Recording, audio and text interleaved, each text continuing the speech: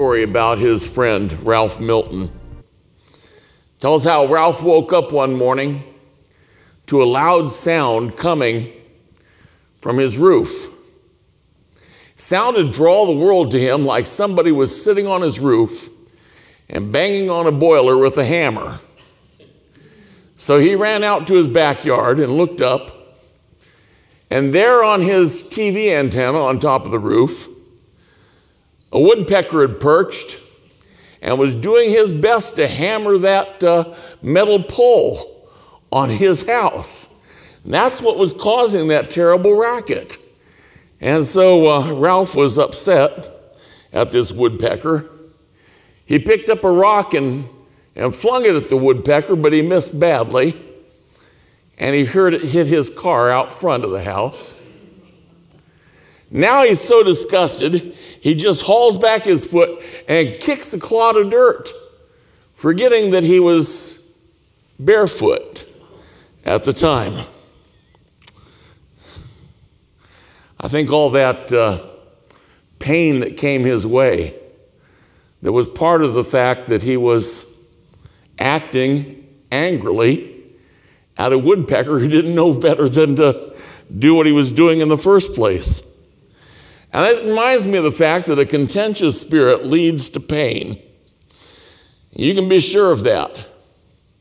It can be self inflicted pain, or it can radiate out of our lives into the lives of other people in a wave of destruction, but it always produces pain. And that's at the heart of our text this morning. We're going to continue this morning with our sermon series from 2 Samuel. We come now to 2 Samuel chapter 2, verses 8 through 17 for the next portion of this book. There we read, But Abner, the son of Ner, commander of Saul's army, had taken Ishbosheth, the son of Saul, and brought him over to Mahanaim. He made him king over Gilead, over the Asherites, over Jezreel, over Ephraim, and over Benjamin, even over all Israel. Ishbosheth, Saul's son, was 40 years old when he came to be king over Israel, and he was king for two years. The house of Judah, however, followed David. The time that David was king of Hebron over the house of Judah was seven years and six months. Now Abner, the son of Ner, went out from Mahanaim to Gibeon with the servants of Ishbosheth, the son of Saul, and Joab, the son of Zeruiah. And the servants of David went out and met them by the pool of Gibeon. And they sat down, one on the one side of the pool and the other on the other side of the pool.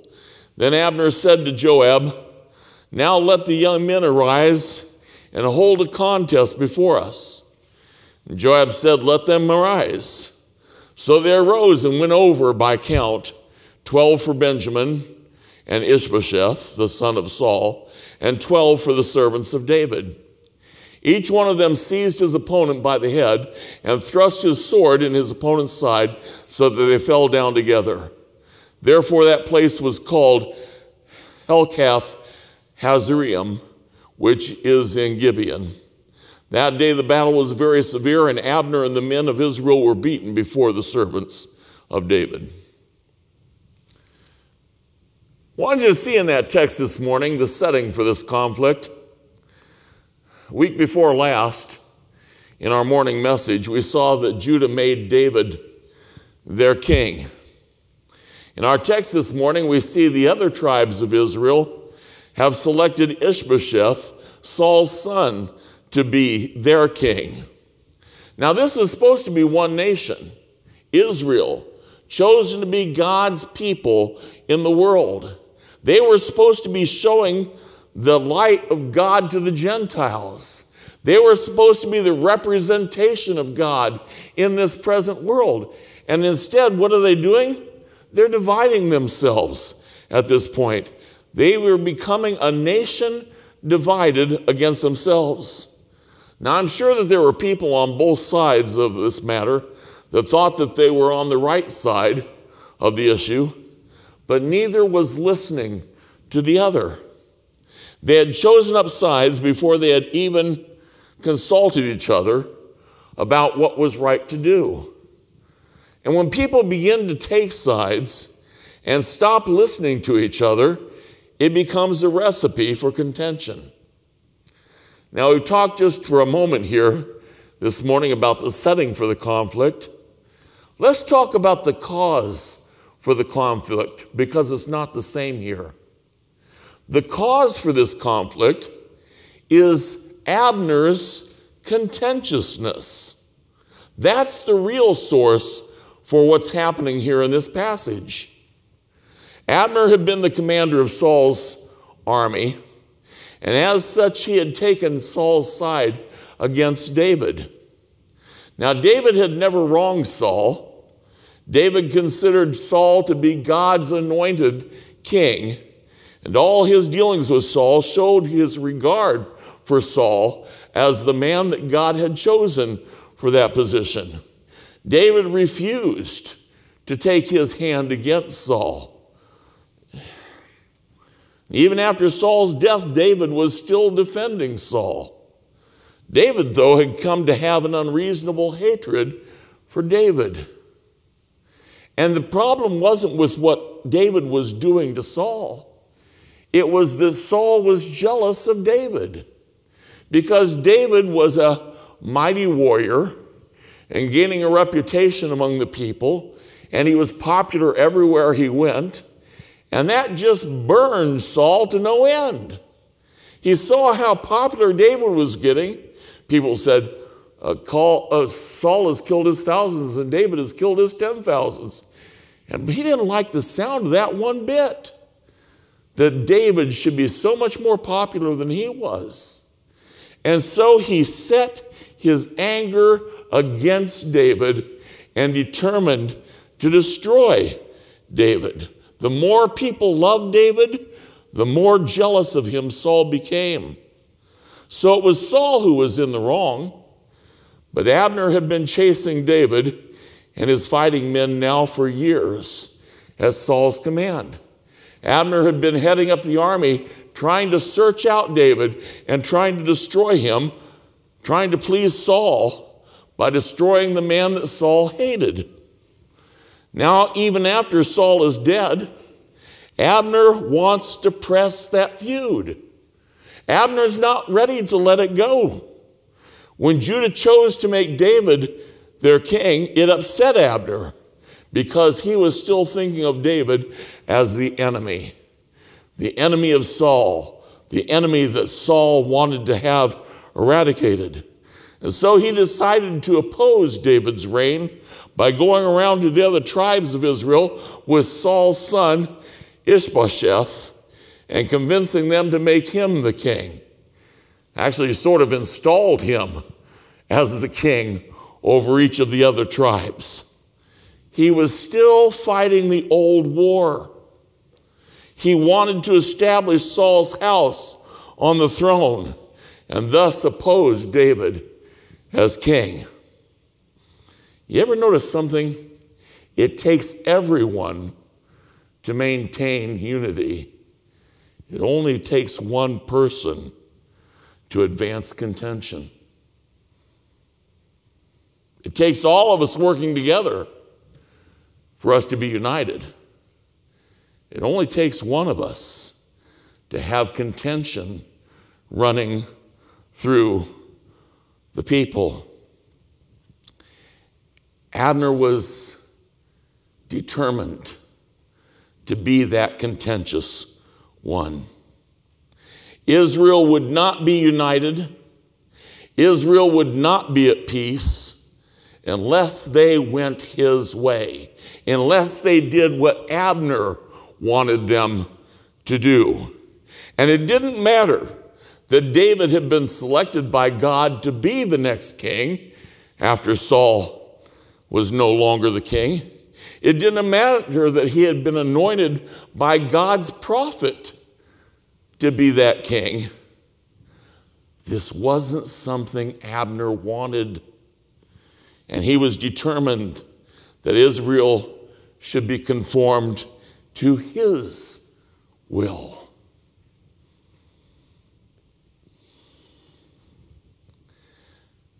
I think we need to remind ourselves this morning that God's people have to avoid contention. Because of this contentious attitude, Abner wasn't content merely to divide Israel, he pushed them to bloodshed. When the two sides met at the pool of Gibeon, one side sat on one side of the pool, and the other side sat on the other side of the pool for their meeting there. You can tell that they had something more than a pool between them at this time. But it's at this meeting of the leaders of God's people that Abner proposes to have the two sides each picks their 12 young champions, 12 young men who they think can represent their side in a fight and that those 12 would go against the other side's 12. It's probably due to the fact that Israel had just been defeated by the Philistine army and still was under threat of the Philistines overrunning their country at all times, that they didn't want to deplete their numbers through a civil war. It became easier to have champions represent each side so that only a few would be slaughtered in this contention between them. But if they could unite the country with limited bloodshed, they would remain stronger. Still, it was an escalation to go from division to open violent conflict, and that is what Abner was proposing. Abner got his wish. The 12 champions met the 12 champions of the other side. But it didn't go the way that Abner had intended. The men of Israel were soundly defeated, and David's men prevailed in that conflict, and it spawned a bloody battle in which Abner's forces were routed and made to flee for their lives.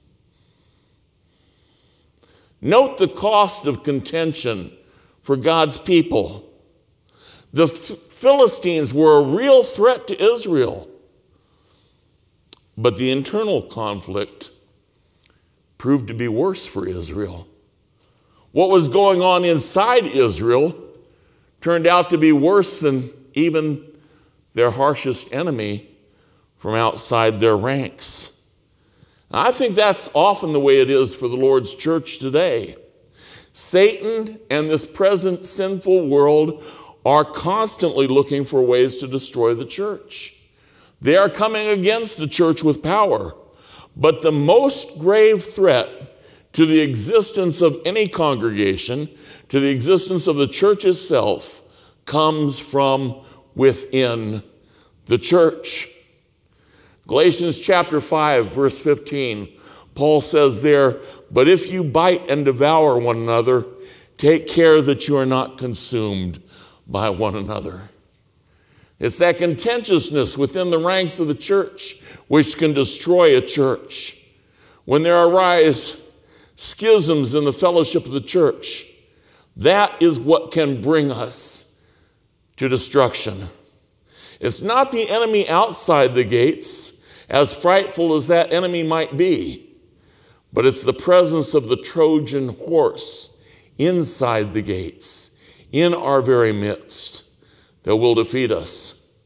Conflict in the church, the spirit of contention in our midst, this is what we must be constantly seeking to eliminate. We can't afford to fail to keep watch for the enemies outside the church, but we must also be aware at all times of those who would seek disharmony within the church. And contention, just as we saw with Abner, contention comes from one trying to impose their will on others. That's not the nature that Christ wants for his church.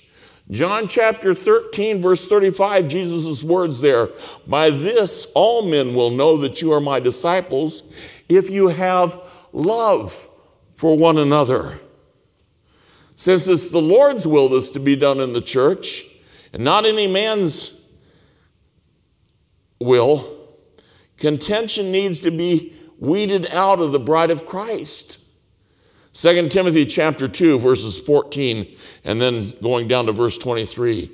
Remind them of these things and solemnly charge them in the presence of God not to wrangle about words which is useless and leads to the ruin of the hearers.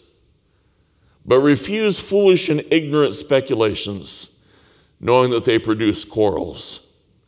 And then Paul again writes, this time to Titus, in Titus chapter 3, verses 9 through 11.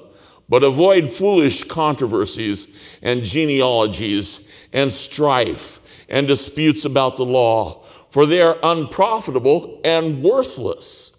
Reject a factious man after a first and second warning, knowing that such a man is perverted and is sinning, being self condemned.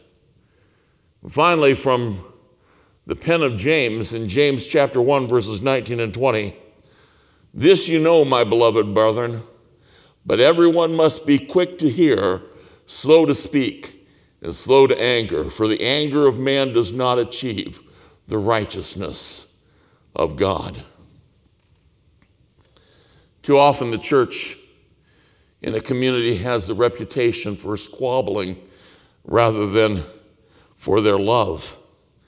Let us be careful not to follow the example of Abner and divide God's people due to our pettiness. Let us always look for God's will and His way.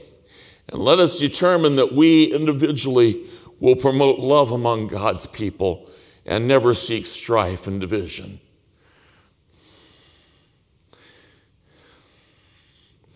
In conclusion, this morning, we're not always going to agree on everything.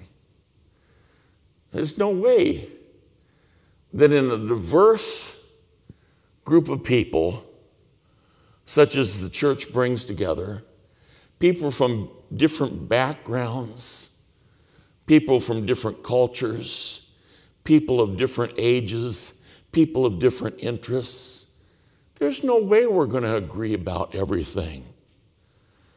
We might not have the same taste on music. We might not like the order of the service that's been chose.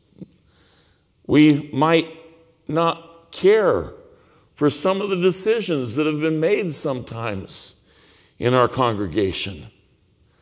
But regardless of whether everything is to our taste or not, we can choose to treat one another with love and not to insist that everything be as we would like it.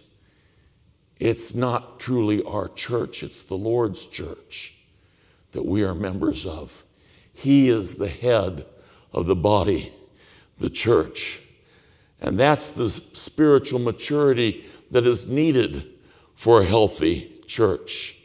Now abide faith, hope, and love, Paul wrote in the love chapter, the 13th chapter of 1 Corinthians. And the greatest of these is love. Let us model his love. The love that caused him to do what was hard for him to do for our sakes, that compelled him to go to the cross for us. Let us model that kind of love in the way that we interact with one another. And this morning, if you'd like to receive His love, if you'd like to receive what Christ did for you on the cross, for the first time, you can obey Him in the waters of baptism, or if you'd like to renew your commitment to live for Him, you can make that decision as well this morning. We're going to have an invitation time this morning. We're going to begin it with a word of prayer. And then we're going to go to personal meditation. And if you need to make a decision publicly, just now we invite you to come forward during that time of meditation. Father, we thank you that we have in you the example of love, selfless love. And we pray, Lord, that we might not live as those people who are contentious and will divide up your church uh, for our own motives and for our own purposes. Help us not to be petty, Lord. Help us to be generous and loving as you are. Lord, this morning, if there's a decision that somebody needs to make, we pray, Lord, that, that they might have your Holy Spirit moving on their hearts and that they might make that decision. So watch over us as we go through this brief time of meditation, we pray. In your Son, Jesus' name. Amen.